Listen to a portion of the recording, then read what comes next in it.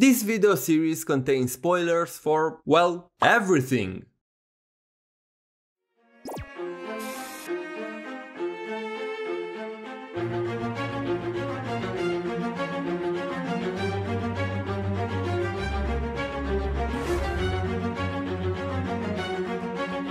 Have you ever wondered how all the Hoyoverse games are connected? Why do we have variants of the same character in different games? Or why do so many games share identical concepts? I swear to god, if I'm ever going to hear the word Samsara again, I'm going to kill someone. Venti? Mei? Piece of, uh, I mean Otto? What are you even doing here? Go home, you have a kid to raise.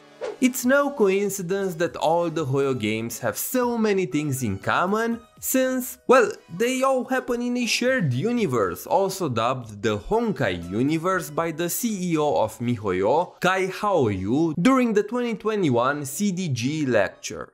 It is because our company has a goal in mind and which is to create the Honkai universe. A fun fact about the name Hoyoverse, which right now is the company's branding for all game-related operations outside of China, is that the name was used by many people in the Honkai community to refer to the shared universe in which all the games take place prior to the rebranding. Also, please note that the company still uses the name MiHoYo in China. Knowing this, it's hard to not think if the new branding was intentional or not, but I digress. You may wonder, what does the fact that they are part of a shared universe means? Well, to explain it in the simplest way possible, it means that all these games share the same cosmology. Even though the games explore a variety of different worlds and don't always interact, they still share a common cosmology and basic rules that govern them. A while ago I made a 3-part video series explaining the cosmology of Honkai Impact 3rd. Those videos are pretty outdated by now, so I wanted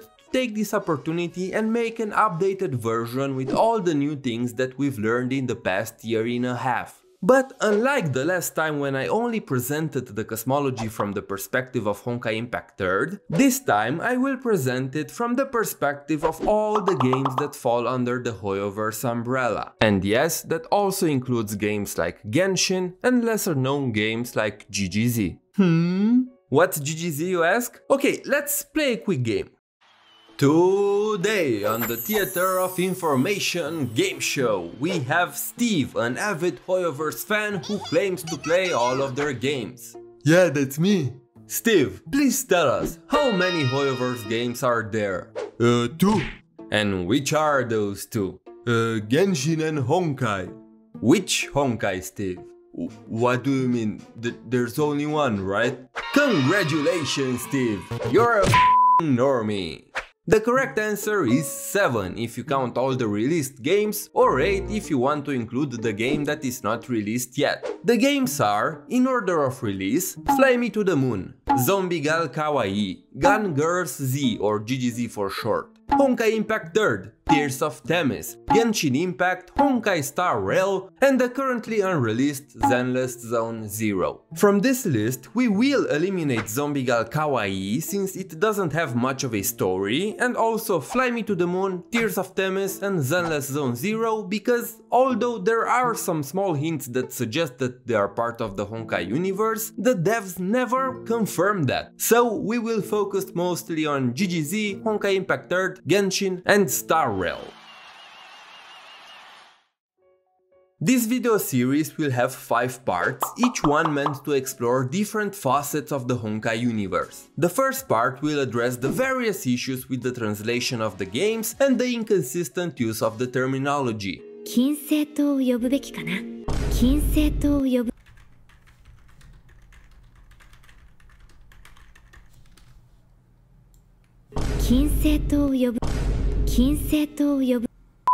It's important to address them as early as possible because these issues make it almost impossible to obtain solid evidence to connect the games. Unless we use the CN text instead of the English one, which can be extremely misleading. But before we begin, I want to thank the entire Hoyostans community for their help with this series, especially when it came to digging up information about GGZ. Hoyostans is a community of dedicated HoYoverse fans who offer an in-depth coverage of their games with a ton of guides and fun trivia. They have the most complete story guide for Honkai Impact 3rd and are constantly adding new information. So please go and check them out. Oh, and uh, speaking of GGZ, I urge you to take any information related to it throughout this series with a huge grain of salt. Since the game is only available in CN and JP, all we know about it is from fan translations, and frankly speaking, only a small portion of the game is actually translated. The information is spread across various media, buried social media posts, and lost time-limited content, so even the CN fanbase has trouble piecing together the whole thing. In other words, we know jack about it. I felt the need to emphasize this because there are a lot of people with many misconceptions about the game based on incomplete information. It's very important for us to be careful about GGZ because misinterpreting even a single line of dialogue can have huge effects on how the lore is understood. Anyway, let's begin with the most frustrating issue. The translation cluster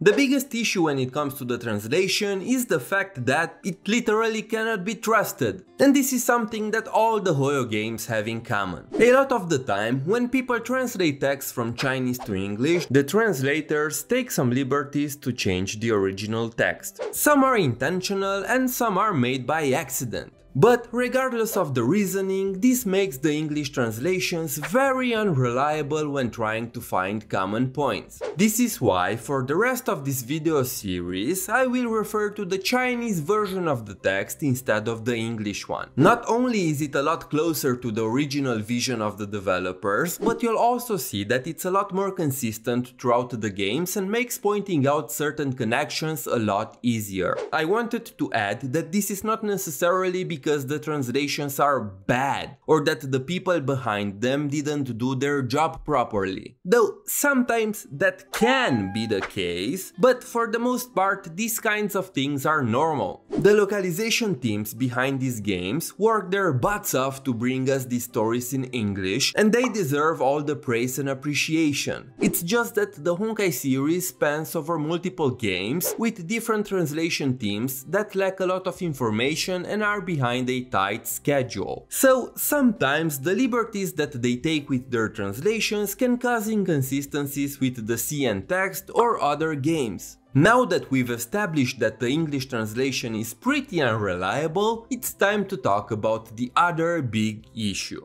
the misleading nature of how the games try to present information. While this issue can be an aftermath of unreliable translation, in most cases, Hoyo's explanation of their own cosmology is inconsistent by design. This is due to many reasons. Hoyoverse uses a narrative technique called an unreliable narrator. Those of you who played Honkai Impact 3rd and Genshin should be a bit more familiar with it. How many times have you seen characters reveal something something important about the lore just so that it turns out later that what they said was false. Or some other character appears out of nowhere with a totally different interpretation of the same thing. This happens because Hoyoverse tells these stories through the limited perspective of these characters. Many times, important information is presented just as a theory or as a vague description from the perspective of one character. But that character doesn't have the full picture either, and that's when inconsistencies between different explanations occur.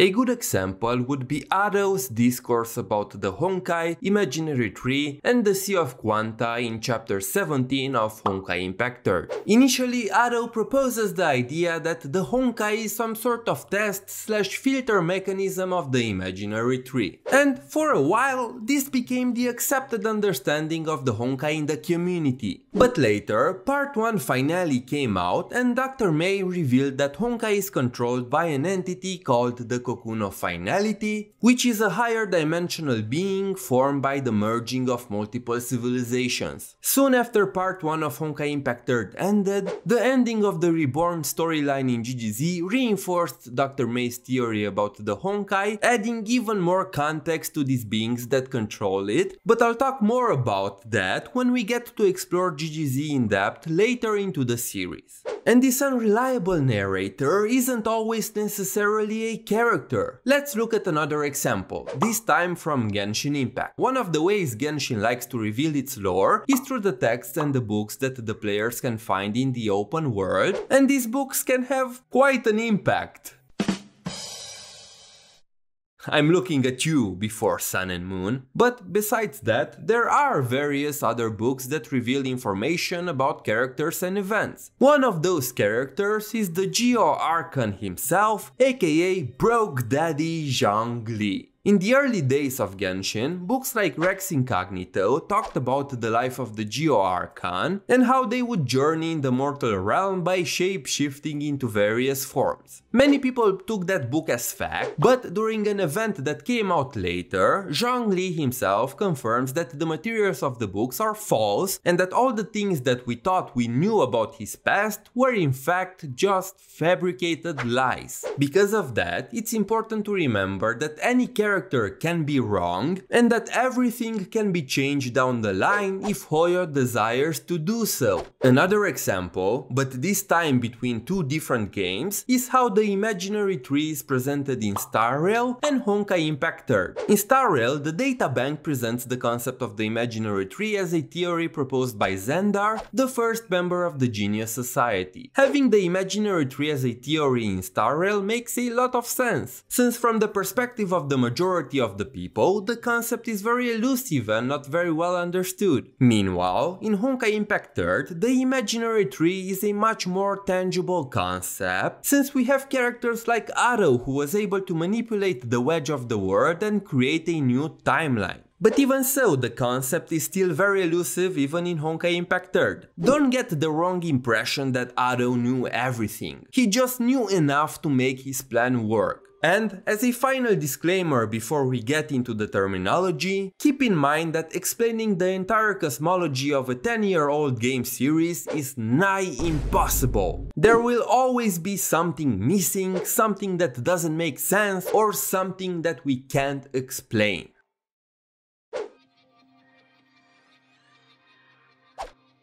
Now, before we get to talk about the terminology, I want to apologize in advance because I'm going to try to pronounce some of these words in Chinese and only God knows how much I'm gonna butcher them. First, we have the word Yuchao, which means universe or outer space. In the context of the Honkai games, this word is often used to encapsulate the entirety of the imaginary tree. Every leaf, world, star system or planet is a three-dimensional space that is contained contained in a 11th dimensional structure that Hoyo calls universe. That is because Hoyoverse uses Everett and DeWitt's many worlds interpretation scheme for their universe. But since in this part I want to focus solely on the terminology, I will talk more about the many worlds interpretation and how Hoyoverse adapts it to their games in a future video, so do not worry.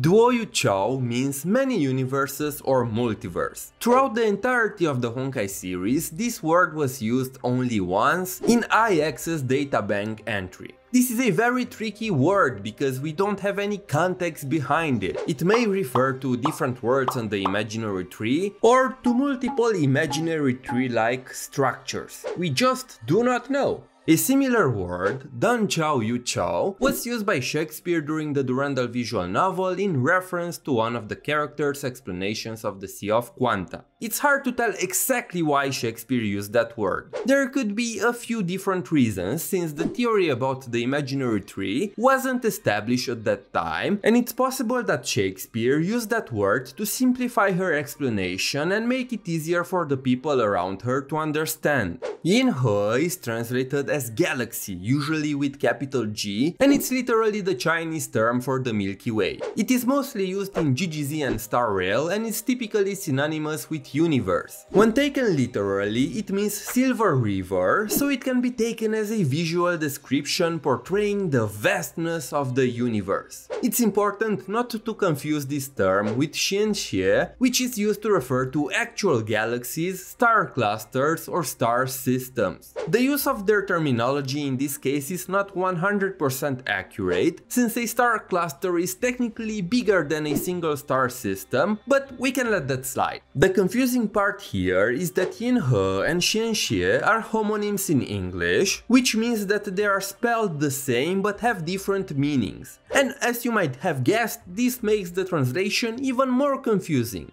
During Himeko's explanation of the imaginary tree, she states that the imaginary tree was proposed as a structure for the galaxy using the word Yinhe, which is seemingly interchangeable with universe. Because of that, many people who see the word galaxy in English think that Himeko is referring to only one galaxy or star system, but she's actually referring to the entire universe. As I said, the actual word for normal galaxies or star system is Xianxie. It's a cluster I know, but it's important to point these things out so that you'll get a general idea of why this whole thing is a mess. And also why making claims on how the cosmology works without properly looking at the Chinese text can be misleading at best and almost impossible at worst. Something similar happened in the Alien Space manga on the last page when they teased Welt's adventure through the universe. A new journey, one that will extend across galaxies galaxies. Again, they translated the word as galaxy, but they use yin he, not Xianxie, so it actually refers to the entire universe and not just a single star system.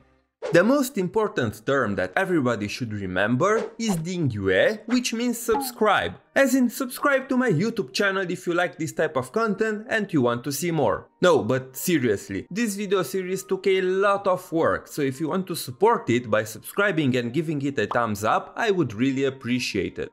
The next one is the trickiest and most flexible term. Xiejie means world, and when I say that it's flexible in its use, I mean this is some kind of Luffy level term with how much Hoyoverse likes to stretch it. The word is used to describe a lot of different things, but in the context of the cosmology typically refers to an isolated structure of space-time, a leaf on the imaginary tree, which is merely just a metaphor that is used very inconsistently by different characters, since everyone has their own interpretation of how the mechanics of the imaginary tree work, can be a word. Different planets are also referred to as worlds, and even even large spaceships that contain entire ecosystems like the Luofu are also referred to as worlds. This can cause a lot of confusion, so it's important to use context clues to distinguish the exact meaning at a given time. The use of the term is complicated even further when in some of Himeko's descriptions and a couple of other places, star systems or xianxie is used instead of words, further adding to the fact that the scale of this word's usage can be extremely vast. Knowing how the terminology is used in Chinese compared to English makes reading the text a lot easier. Here is an example. This is the entry about the nameless from the databank of Star Rail. Alongside, we We'll also look at the CN text for comparison. The text claims that Akivili used to traverse across worlds, which is consistent with the translation we know, and uses the word Xiejie referring to any three-dimensional structure in space. It can be a planet, a ship, or an entire world encapsulating many star systems and galaxies. The next part is laying down the star rail that linked worlds together in the sea of stars. The most important word here is Shinhai, which is often used in all the Hoyoverse games from GGZ to Genshin and Star Rail. Unfortunately, it's not consistently translated into English, having multiple variations such as Starry Ocean, Ocean of Stars, and even the completely incorrect Galaxies of Stars. It's a word seemingly used to refer to the navigable universe. The brave and curious were attracted by the tales of these adventures and followed the steps of the Trailblaze, joining the god on their journeys to explore the galaxy. Here again we have the use of the word Yinhe which is translated as galaxy or Milky Way and is used to refer to the entire Honkai universe. Because of this we can assume that the Express traveled through different leaves of the imaginary tree and not just in a single world or star system. If that was the case they would have used the words Xinxi or Xijie instead but they use Yinhe which is used to refer to the entire universe in multiple games. Using this method and comparing the CN and English text can provide you with a much easier understanding of the cosmology. I will also leave a link to the Hoyo Hoyodex where you can find a list of the most important terminologies used in the Hoyoverse games. This method can also be used to check for translation errors in the text. Here is an example of a pretty big translation error that changes how we perceive the cosmology in Star Rail. In Himeko's dialogue about the galaxy, she talks about Zandar's theory about the imaginary tree and says that each leaves are separate universes. Well, if you look at the Chinese text, we see that she uses the word Xinxie, which means star system or galaxy, and not Yucho or Yinhe, which refer to the universe. The English localization completely mistranslated the text here, giving people the idea that each leaf is a separate universe, when in fact she says that each leaf is a separate world. As tempting as it is to look at the leaves on the imaginary tree as separate universes and call the imaginary tree a multiverse, this can lead to a lot of semantic miscommunication by having two people talk about the same thing while using completely different terminology and not understanding each other. Yes, as a structure it functions like a multiverse, but it's not really one and it's best to call it a universe since that's how Hoyo calls it. So, to avoid complicating things, it's best to stick with Hoyo's use of terminology in CN. That's also why I don't like to call the imaginary tree a multiverse. The devs made it very clear that the Honkai universe is a universe with multiple worlds. A lot of popular media franchises, like Marvel, change Everett's proposal of the many worlds interpretation and popularize the concept of multiverse of universes because the concept of a universe of worlds was seemingly too difficult to comprehend. MiHoYo's take respects the original meta theory in Everett's interpretation. And again, don't worry if you're still confused. I'm going to explain this concept in greater detail when we get to talk more about the structure of the universe. Until now, I've only pointed things out from Star Rail, but if we add Honkai Impact Third to the mix, things get even more complicated. Compared to Star Rail, Honkai Impact Third's English localization makes things even worse. Yet, trust me, it's possible. The main culprit is the word Shije or world, which Honkai Impact Third translates as both world and universe. While Star Rail and Genshin translate it as world for the most part, but there are moments when Star Rail makes the same mistake. I'm looking at you, Chavez. This contributes even more to the general confusion because when they say world in Star Rail and Genshin, they refer to the same thing as when they say universe in Honkai Impact 3rd. And when they say universe in Star Rail, it can mean something entirely different from what they mean in Honkai Impact 3rd. And this mistranslation is consistent in other terms as well. For example, you have things like Shizhe Pao, which literally translates to bubble world, but it's translated in English English as Bubble Universe. Same as Banzeng Shije, which means natural world and is used to describe the proper worlds on the imaginary tree, but it's translated as proper universe in the game.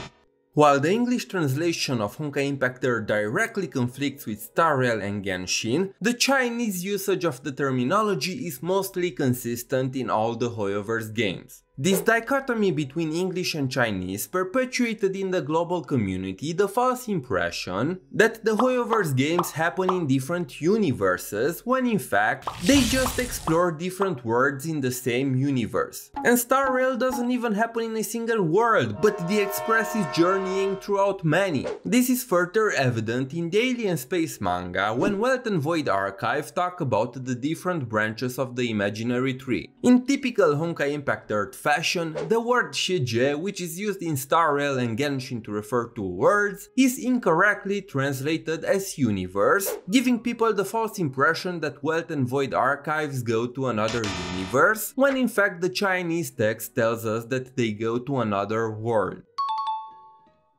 Another thing related to Honkai Impact Third's translation that I wanted to address is Einstein's explanation of the Sea of Quanta from chapter 10. This moment is very important because it's the only time that Hoyoverse used the word Yucho, which means universe to refer to different worlds. Assume the universe as a glass of water surrounded by an infinite numbers of other glasses of water. Overflowing water will flow along the glass walls to form a puddle in the middle of the table. This puddle does not belong to any glass, but the water of the puddle may be from any glass. People of the previous era found this puddle dimension between parallel universes. This puddle was named as the Sea of Quanta. Now, before you are like, aha, got you Homu, I know that you had no idea what you're talking about. Let me address the elephant in the sea of quanta. The words used by Einstein here are most peculiar because this is the only instance that we know of in the entire Honkai series when they use Yuchon instead of Shijie. And it's just for this chapter only. In the next chapter, characters start using the proper term for world, Shijie, like nothing ever happened and Einstein's previous explanation didn't exist. This peculiar choice of words from Einstein could have happened for a couple of reasons. The most likely reason is that the people that worked on the story were not all on the same page and this was just a writing error. This speculation seems even more probable when we see that at the same time Einstein explained the concept of the Sea of Quanta, the image that was shown to demonstrate her glasses full of water analogy has the word world in the position of each glass. And like I said, after this moment the characters started to consistently use the term world instead.